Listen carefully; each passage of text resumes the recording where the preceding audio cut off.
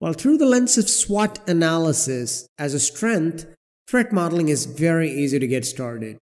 All that is needed to threat model is a design of the application.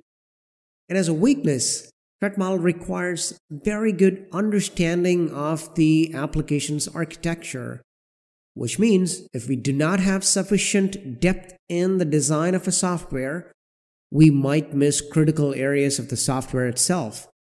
So the presence of subject matter experts is required for threat modeling.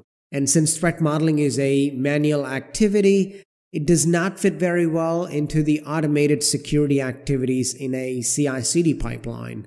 It is also very challenging to keep a threat model up to date with the design changes of the application. There are some ways to write threat models as code.